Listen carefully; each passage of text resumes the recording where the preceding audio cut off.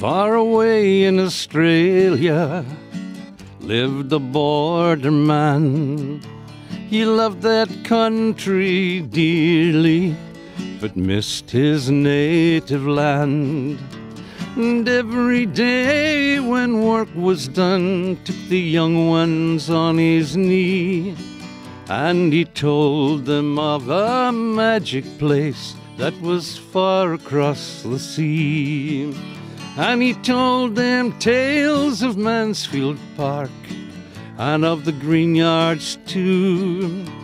And how the Celtic played in green, the Rangers in the blue. And he told them all of the legends, fired them full of dreams. And they knew every Scottish club and the names of all the teams.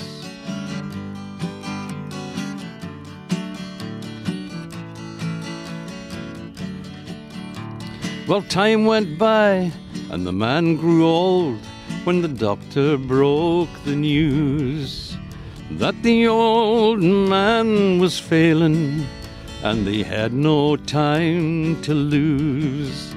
They sold up everything they had and got upon a plane so he could see the folk he knew and the borderland again.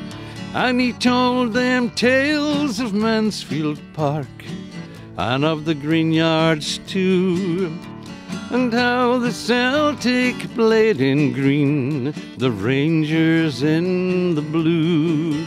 Well, he told them all of the legends and he fired them full of dreams. And they knew every Scottish club and the names of all the teams.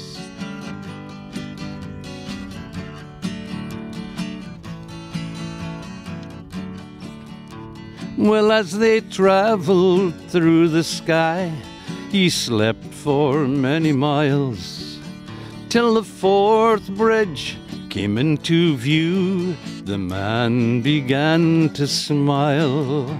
And when he saw these Eildon hills, his tears began to flow.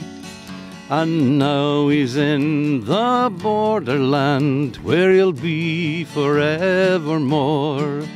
Well, he told them tales of Mansfield Park and of the Greenyards too and how the Celtic played in green, Rangers in the blue.